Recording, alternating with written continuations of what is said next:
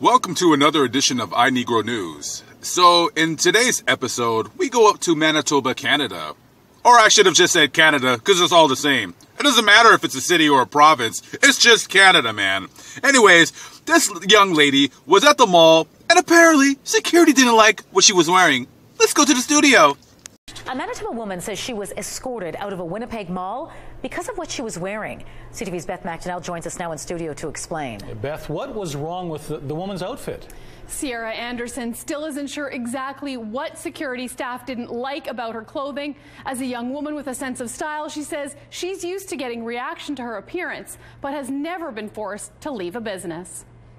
It makes no sense to me. Sierra Anderson has a distinct and colorful sense of style. Monday, the 21 year old put on what she calls a cute and comfortable summer outfit shorts, a crop top, and a long vest.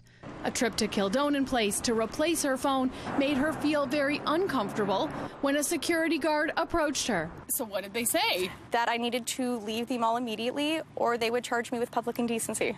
I was like, I don't understand what you mean. She motioned to my body and told me that it was indecent and repeated that I needed to leave immediately or face charges.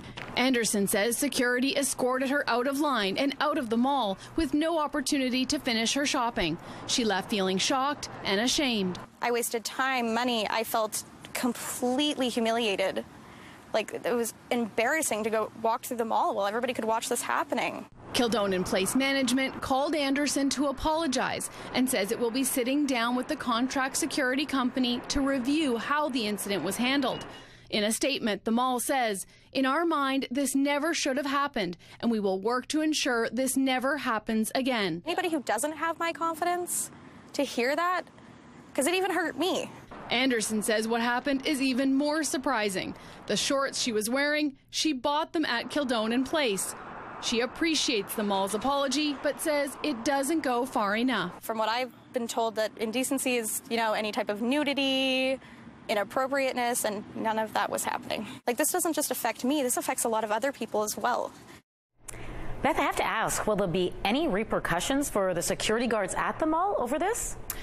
Kildonan Place says the security staff involved will no longer be working at the shopping center.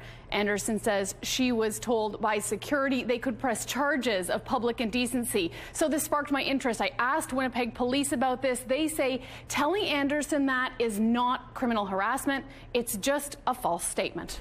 All right. Thanks for this, Beth. First of all, that chick is frickin' cute. She's a little younger than what I normally date, but uh, in this case, I'm willing to go outside of my age range to formally date her. She had a nice corset on. She's kind of soft, a little pudgy, but uh, definitely cute, smoking, smoking attractive, cool purple hair. Eh, who's this punk ass security guard going up to her?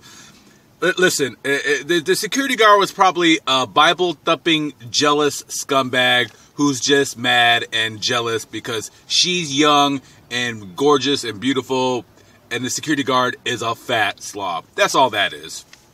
That's my opinion. I'm Black Bigot, and that's the news, man!